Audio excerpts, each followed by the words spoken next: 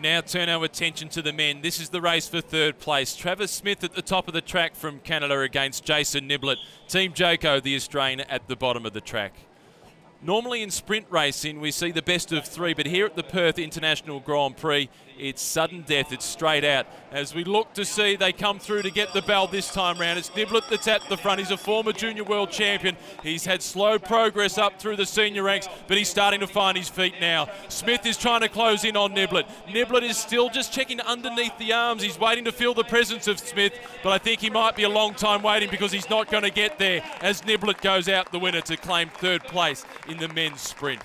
Team Jayco have got third secured. They'll also have first and second.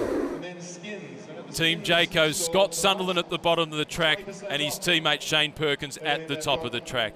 You'll see that Sunderland's got the black armband on the left sleeve. His nan passed away a week ago. He's got emotion on his side to try and force him through to a victory. He'll also have the local crowd as he is from Western Australia. The Victorian Perkins will be trying to upset the apple cart.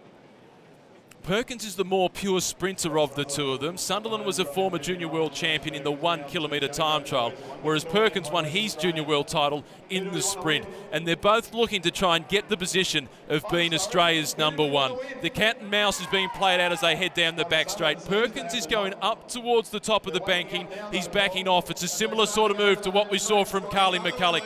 Sunderland is trying to make it as quick as possible and as long as possible because Perkins has such an explosive jump. Sunderland still checking over the shoulder. Perkins takes him convincingly down the back straight. You could see the bow of the head from Sunderland. He surrenders. Perkins will come through and he'll take out the win.